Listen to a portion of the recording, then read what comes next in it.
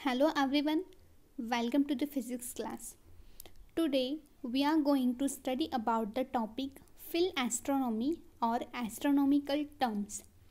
Students, अगर आप किसी ग्राउंड पे खड़े हैं और आपने स्काई का ऑब्जर्वेशन किया है अगर आपने ऑल डायरेक्शन में टर्न करके स्काई को ऑब्ज़र्व किया है तो आपको कहीं पे ऐसे लगेगा कि ये जो स्काई है वो किसी अर्थ पे अर्थ के किसी एक पॉइंट पे टच कर रहा है तो उस पॉइंट को कहा जाता है? उस लाइन को कहा जाता है? हॉरिजॉन जिसे मराठी में कहते हैं क्षितिज।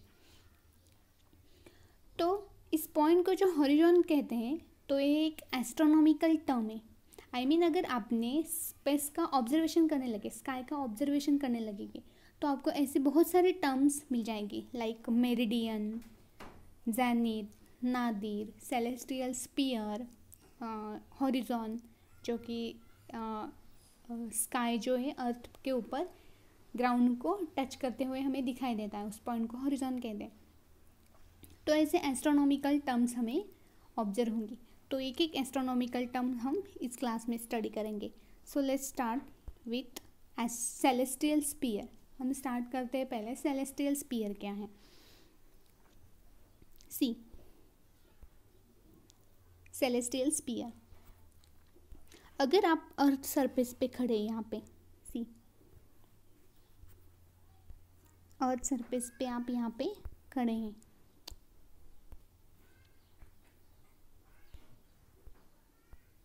यहाँ पे आप अर्थ सरफेस पे खड़े अगर आपने ऑब्ज़र्व किया, पूरी तरह स्काई को ऑब्ज़र्व किया तो आपको ऐसे लगेगा एक सर्कल की तरह है। अर्थ के सराउंडिंग में एक सर्कल है। तो ये जो सर्कल है, उसे कहा जाता है स्पीयर है, उसे कहा जाता है सेलेस्टियल स्पीयर आई मीन अगर ये अर्थ सरफेस है, ये हमारा अर्थ है, और यहाँ, आप यहाँ पे खड़े तो ये जो स्काई है ऐसे दिखाई देता है सर्कल की तरह. तो किसी पॉइंट पॉइंट के पॉइंट पर हमें ऐसे लगता है कि जो स्काई है, वो अर्थ के ऊपर टच कर रहा है. तो उसे हम हॉरिजॉन कहते हैं, जो कि इस पॉइंट को कहते हैं हॉरिजॉन तो ये जो सर्कल हमें दिखाई देता है, वही है सेलेस्टियल स्पीयर सी। तो अर्थ के सराउंडिंग में एक सर्कल है। ये हमारी अर्थ जिसके ऊपर सपोज़ हम खड़े हैं और उसके सराउंडिंग में एक सर्कल है, उसे कहा जाता है सेलेस्टियल स्पीयर स्पीयर है, उससे कहा, कहते हैं सेलेस्टियल स्पीयर तो इस सेलेस्टियल स्पीयर में ऑल प्लैनेट स्टार्स कॉमेंट्स वो क्या होते हैं? मूव करते रहते हैं। मतलब यहाँ पे स्टार्स प्लैनेट्स हैं जो मूव करते रहते हैं। सेलेस्टियल स्पीयर के अंदर। तो सेलेस्टियल स्पीयर क्या है? एक इमेजिनरी स्पीयर है। It is an imaginary sphere on which all planet sun moon and star etcetera are to be lie एक ऐसा इमेजिनरी स्पीयर है जिसके ऊपर all planet sun moon star वो लाई करते सपोज़ यहाँ पे है हमारा सन और ये बाकी प्लैनेट्स है और यहाँ पे अर्थ तो अर्थ के सराउंडिंग में एक ऐसा स्पीयर है जिसके अंदर हमें ऐसे लगता है कि सन मून स्टार प्लानट सब लाई करते हैं। इट इज़ एन इमेजनरी वो एक इमेजनरी स्पीयर है। तो है celestial sphere the sphere of infinite radius with earth at center तो अर्थ के सेंटर से उसकी रेडियस बहुत ही ज़्यादा है मतलब इन्फाइनाइट है। The stars and planet moving in the sky appears to be moving on this sphere this virtual sphere is called celestial sphere तो हमें पता है स्टार्स एंड प्लानट क्या कर रहे हैं मूव कर रहे हैं बट हमें ऐसे लगता है कि वो सेलेस्टियल स्पीयर के अंदर मूव कर रहे हैं। तो मैंने पहले ही कहा है कि सेलेस्टियल स्पीयर एक इमेजिनरी स्पीयर है। एक इमेजिनरी स्पीयर है, जो कि हमें ऐसे लगता है कि स्टार प्लानट सन मून उसके अंदर लाई करते हैं और वो रिवॉल्व करते हैं। तो this is a celestial sphere I hope आप समझ गए होंगे कि सेलेस्टियल स्पीयर क्या है। Celestial sphere is a imaginary sphere तो एक इमेजिनरी स्पीयर है जिसके अंदर all planet sun moon and star lie करते now we are going to study about nadir and zenith see zenith and nadir क्या है? तो सेलेस्ट्रियल स्पीयर हमने स्टडी किया है कि वो एक इमेजिनरी स्पीयर है। जैसे देखिए सपोज़ ये अर्थ सरफेस है, उसके नीचे हमारी अर्थ है मतलब ये अर्थ है और ये अर्थ सरफेस है। अर्थ सरफेस पे एक गर्ल यहाँ पे खड़ी है तो उसे क्या लग रहा है? कि स्काई कहाँ पे तो अर्थ को टच कर रहा है अर्थ सरफेस को टच कर रहा है। तो ये जो स्पीयर है तो यहाँ पे टच कर रहा है। सी इस दो पॉइंट पे स्काई अर्थ को टच कर रहा है। तो इस पॉइंट को क्या कहेंगे हम? हॉरिजॉन क्षितिज। और ये जो स्पीयर है, उसे हम कहेंगे सेलेस्टियल स्पीयर तो ये इमेजिनरी स्पीयर है। Now what is a zenith तो जेनिथ क्या है? अगर आप ग्राउंड पे कहीं पे खड़े हैं। एंड किसी पॉइंट पर आपके पॉइंट से मतलब आप जहाँ से खड़े हैं सेलेस्टियल स्पेयर आपके हेड के हेड के ऊपर से जो पॉइंट सेलेस्टियल स्पीयर को टच करेगा एग्जैक्टली exactly, उस पॉइंट को हम कहेंगे जेनिट सी जेनिट क्या है? While standing on the ground the point on which celestial sphere exactly above our head it's called zenith तो यहाँ पे एक लड़की है। सी। तो मैंने पहले बोला this is a celestial sphere ये जो पॉइंट है सारे, यहाँ पे आपको ऐसे लग रहा है टच कर रहा है कि स्काई क्या कर रहा है? अर्थ को टच कर रहा है। ऐसे हमें लग रहा है। एग्जैक्टली exactly ऐसे नहीं होता। अपियस हमें ऐसे लगता है कि वो टच कर रहा है। तो ये है हॉरिजॉन तो जेनिथ हम देख रहे थे। तो आप ग्राउंड पे खड़े हैं। यहाँ पे ग्राउंड पे खड़े हैं। तो ऐसा एक पॉइंट पे कि जो पॉइंट हमारे एग्जैक्टली हेड के ऊपर आता है अबाव अवर हेड एंड वो सेलेस्टियल स्पीयर को टच करता है। तो ये जो पॉइंट है तो उस पॉइंट को हम क्या कहेंगे? जेनिथ तो ये लड़की यहाँ पे खड़ी थी। अगर वो यहाँ पे खड़ी है सपोज़ और इस पॉइंट के ऊपर एग्जैक्टली वो इस पॉइंट को टच कर रही है मतलब सेलेस्टियल स्पीयर को टच कर रही है तो उस पॉइंट को हम कहेंगे zenith so this is a zenith now nadir क्या है? तो नादिर उसके बिल्कुल एग्जैक्टली अपोजिट है। जो ऊपर वाला पॉइंट था, हमारे हेड के ऊपर, जो सेलेस्टियल स्पीयर को टच करता है, वो था जेनिथ और वहीं अगर हम ग्राउंड पे खड़े हैं एंड हमारा पैर के नीचे का जो पॉइंट है, उस सेलेस्टियल स्पीयर को टच करता है तो उस पॉइंट को हम कहेंगे नादिर। सी तो वही लड़की यहाँ पे खड़ी है। The point on which celestial sphere exactly below our feet तो ये पॉइंट यहाँ पे टच कर रहा है। सेलेस्टियल स्पीयर के ऊपर से मतलब सेलेस्टियल स्पीयर के को टच कर रहा है। इस पॉइंट को हम कहेंगे nadir. So this is a difference between zenith and nadir. तो यहाँ पे भी आपको दिखाई दे रहा है, इस डायग्राम में भी। सी जैनिथ क्या है? अगर कुछ आदमी यहाँ पे खड़ा है अर्थ के सरफेस पे तो एग्जैक्टली exactly उसके हेड के ऊपर जो सेलेस्टियल स्पीयर को टच करता है, वो है जेनिथ और below the below a feet उसे क्या कहते हैं? Nadir so this is a zenith and nadir I hope you are getting the point celestial sphere and zenith and nadir so first question for the homework is explain the celestial sphere in details with diagram ये तो हो गया first question second question है explain zenith and nadir with also diagram zenith and nadir क्या है वो आपको diagram की हेल्प से एक्सप्लेन करना है एंड उसके बीच में डिफरेंस क्या है? What is the difference between zenith and nadir वो भी आपको एक्सप्लेन करना है। नाउ अब हम देखते हैं। Now we are going to study the third astronomical terms see third term is celestial poles तो सेलेस्टियल स्पीयर हमने स्टडी किया जेनिथ एंड नादिर स्टडी किया है थर्ड टर्म है सेलेस्टियल पोल तो ये हमारी अर्थ उसके रोटेशन चलते रहते हैं। नॉर्थ साउथ उसके पोल्स भी हैं। This is a north pole and this is a south pole तो सेलेस्टियल पोल्स क्या हैं?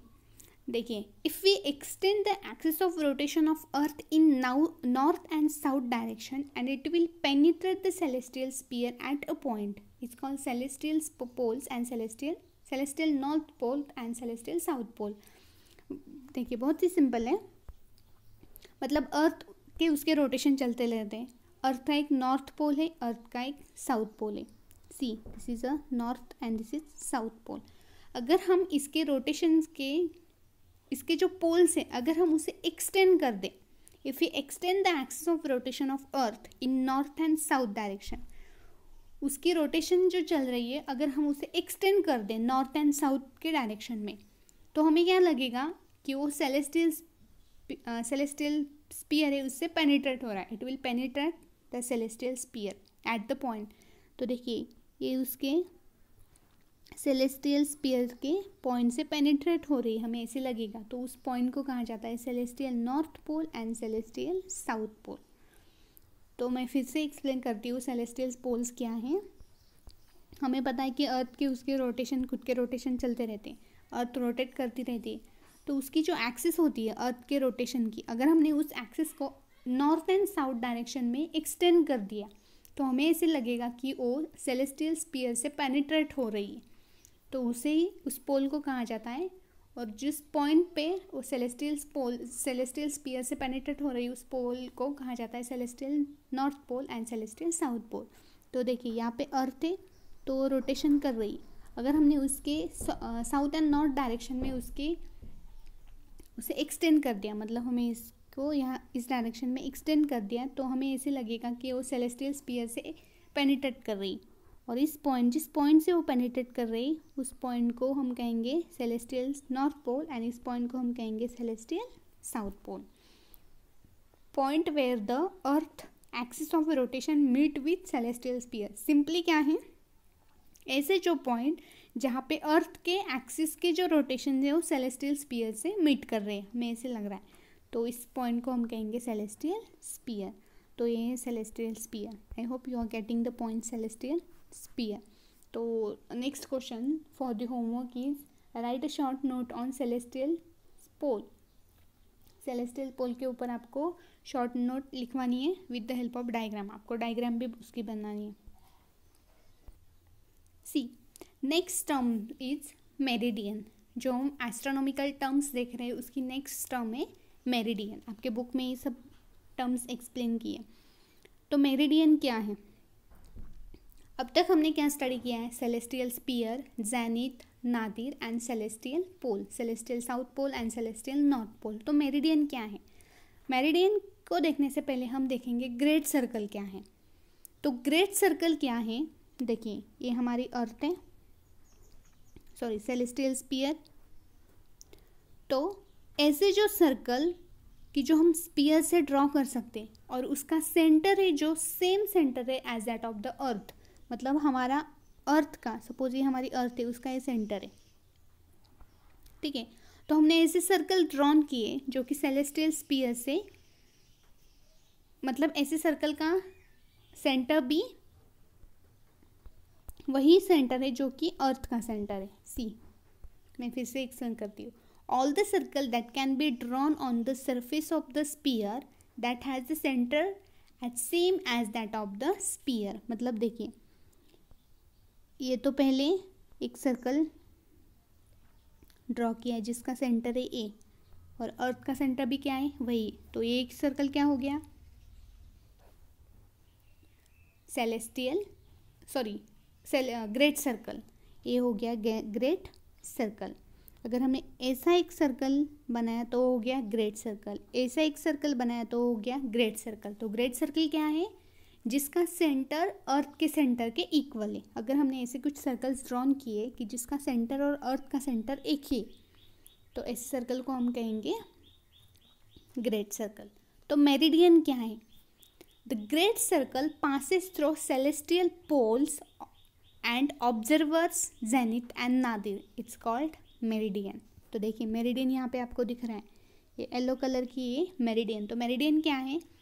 मेरिडियन एक ग्रेट सर्कल ही है, जो कि सेलेस्टियल पोस पोल से पास होता है and observer zenith and nadir को भी वो टच करके जाता है। देखिए, ये जेनिथ यहाँ पे इस पॉइंट को हम कहते हैं जेनिथ एंड इस पॉइंट को हम कहते हैं नादिर और सेलेस्टियल पोल्स ये दोनों हैं।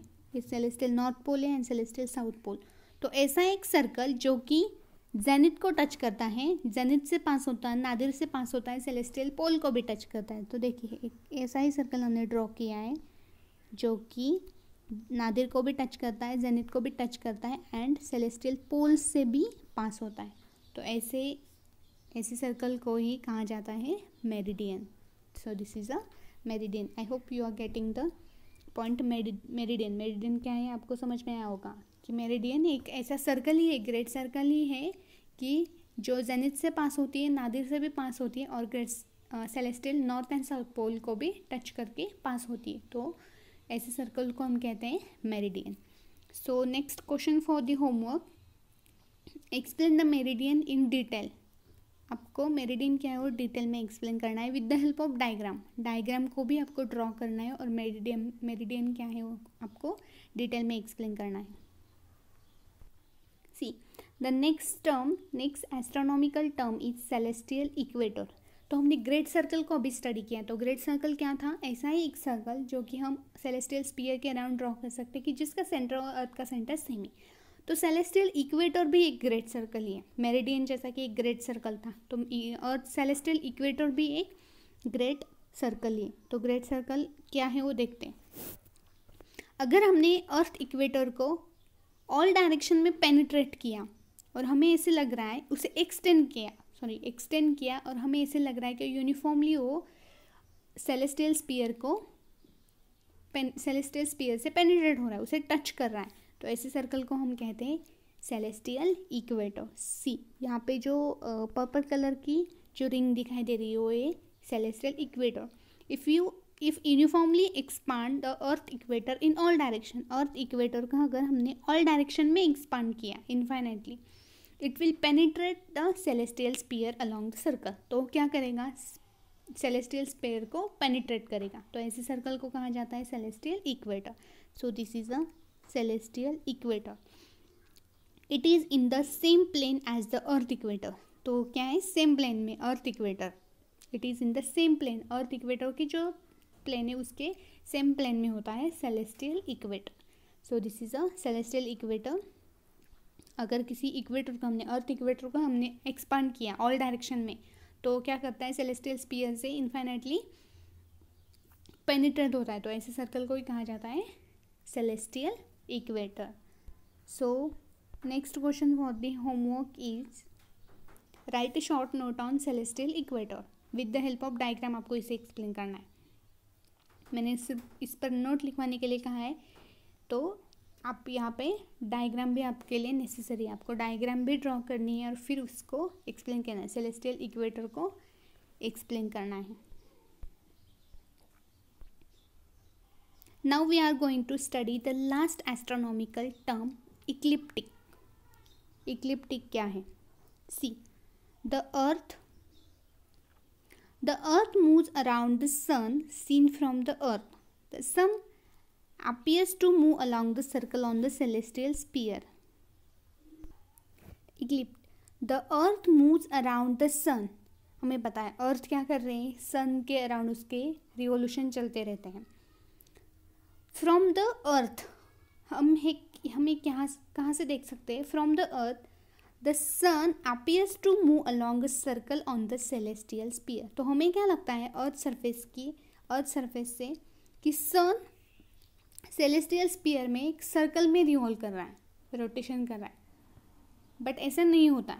तो उस पोर्शन को कहा जाता है, उस पार्ट को कहा जाता है ecliptic this circle describing the apparent motion of the sun around the earth it's called ecliptic this circle describing the apparent motion apparent motion of the sun around the earth see यहाँ पे दिख रहा है आपको ecliptic कहाँ पे?